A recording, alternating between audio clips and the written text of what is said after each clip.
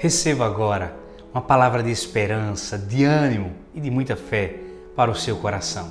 Leia comigo atentamente esse princípio bíblico que vai aparecer agora na tua tela. Livro de Salmos, capítulo 34, verso 8, que diz: Provem e vejam como o Senhor é bom, como é feliz aquele que nele se refugia. Há um convite bíblico para mim e para você que neste dia possamos provar o quanto o Senhor é bom.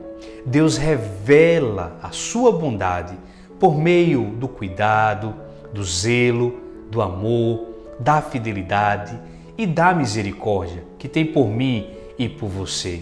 Que neste dia possamos aceitar esse convite tão honroso de experimentarmos e comprovarmos a vontade de Deus. Deus é bom em todo o tempo e, por ser bom, revela essa bondade para mim e para você. Tenha um dia maravilhoso e uma semana vitoriosa. Até mais.